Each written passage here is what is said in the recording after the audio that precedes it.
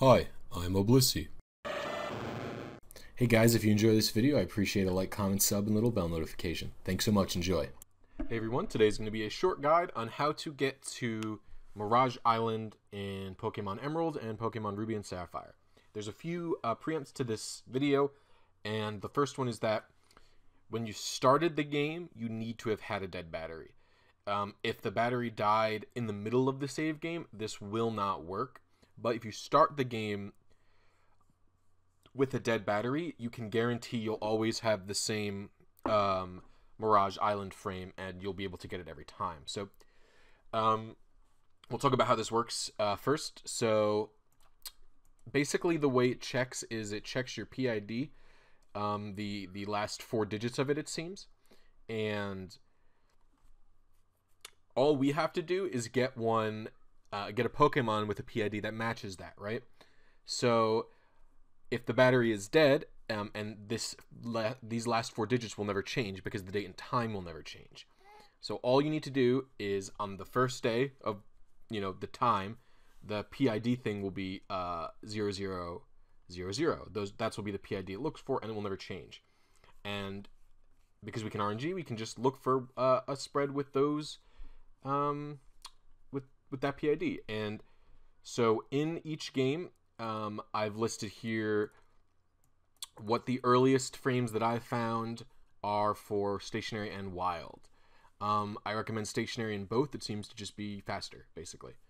Um, in Emerald, it's 18626, which is what I'll be doing for uh, in this video uh, for the stationaries, and I'm going to be doing it on Lileep, but this would work with any Method 1 Pokemon.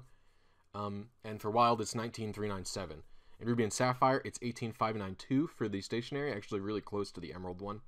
And in RS Wild, the earliest I found was 41 uh, uh, 932, which is really, really late compared to the other ones. It's like 11 minutes in or something. So, and if you have a stationary available to RNG in Ruby and Sapphire, I really recommend trying that.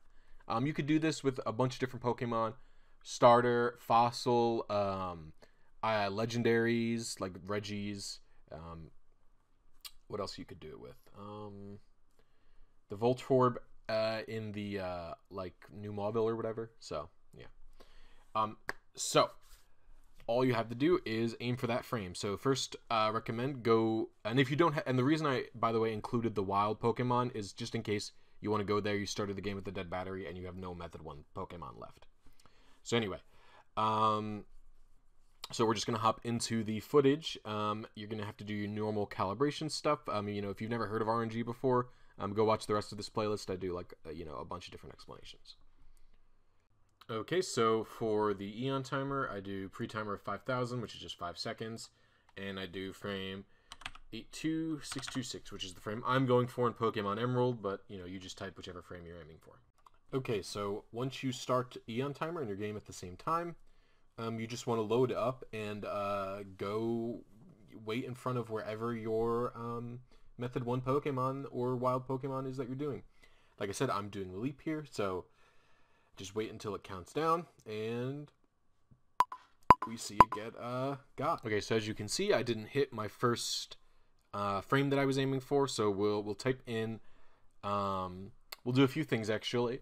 We will do first. We'll get closer to the frame from the start, so we'll do like 18 uh, 500. That's because I doubt I was more than 100 frames off. And uh, Pokefinder has a really uh, handy dandy IV calculator. And since Lileep's only level 20, you can't be, you know, perfectly precise, but um, you can still be pretty good. So, so it's Hardy, Gen 3, don't care, uh, the rest. So just type in all of its stats to make sure, um, uh, to be able to figure out what your IV range and what frame you were aiming for. So, 18 and, okay.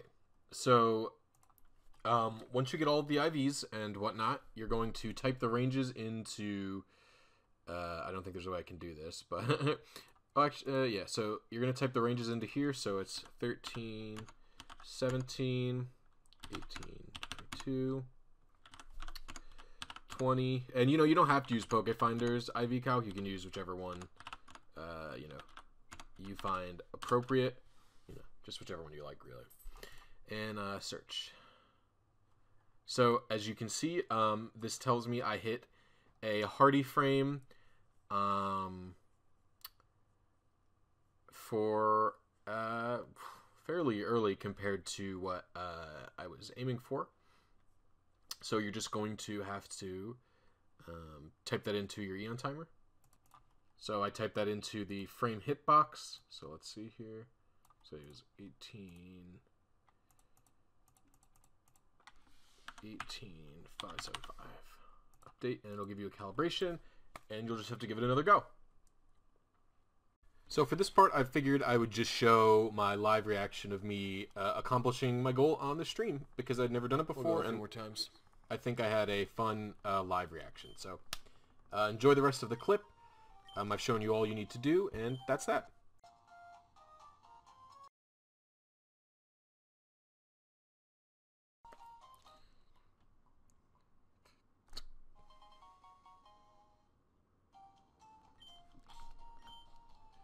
Please be hardy.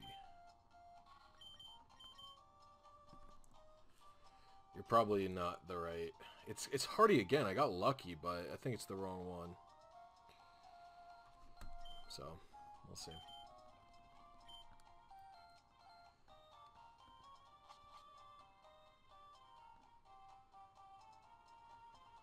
If you start the game with a dead battery, you always know what PID it will need. It needs to have four zeros. Actually, this one's way more likely to be... Actually, I think I... Really? Don't get your hopes up. And now it's PID based. I think this guy's about to see Mirage Island, my guys. Two tries, motherfuckers. Let's go. Let's go. We're going to Mirage Island. Woo! Where is it?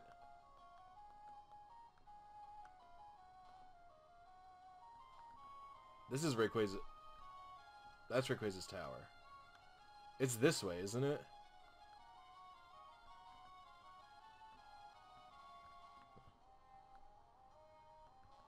Oh, hello. It's just like in the ocean. Oh, wow, you cannot miss this. I've, ne I've never been to Mirage Island before, so I don't know what's up.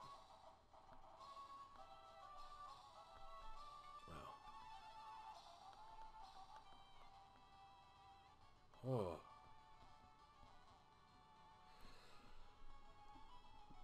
Uh, you won't ever know. It, it, the I just want to shout out to Green Darkness who donated this copy of XD Gale of Darkness to me. Thank you very much. I wouldn't be able to make these videos without you, man. Same goes to my donators and channel members. These videos would not be coming out as frequently or basically at all without you guys supporting me. It really makes a big difference and I really appreciate every single one of you.